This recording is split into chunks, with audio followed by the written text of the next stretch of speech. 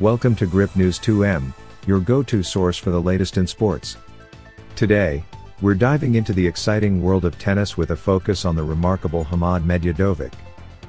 In a recent interview, 20-year-old Serbian tennis prodigy Hamad Medjedovic expressed his elation at winning the ATP Next Gen Finals, marking a significant milestone in his young career. What makes this achievement even more special for Medjedovic is the opportunity to share the court with the current world number one, Novak Djokovic, in the Davis Cup. Medjedovic's victory and reflection.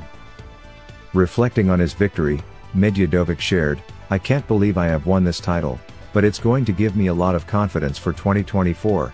He emphasized the tough battle he faced, especially after the first set, praising his opponent, Arthur, as an amazing player. Despite the pressure in the fourth set, Medjedovic highlighted his recovery and the importance of staying relaxed to secure the win.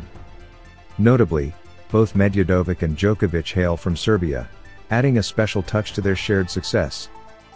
Following in Djokovic's footsteps, Medjedovic expressed his happiness at following in Djokovic's footsteps, acknowledging the significance of winning the ATP Next Gen Finals as Djokovic conquered the ATP Finals. Djokovic, often hailed as the greatest player in men's singles tennis in the Open era, concluded a stellar 2023 with victories in three Grand Slam tournaments and the ATP Finals. Djokovic's legacy Novak Djokovic's influence on young talents like Medjedovic is undeniable. Djokovic's remarkable career, boasting 24 Grand Slam titles, sets a high standard for aspiring players. His achievements in 2023, including victories in the Australian Open, French Open, and the US Open, solidified his legendary status. Closing and future prospects.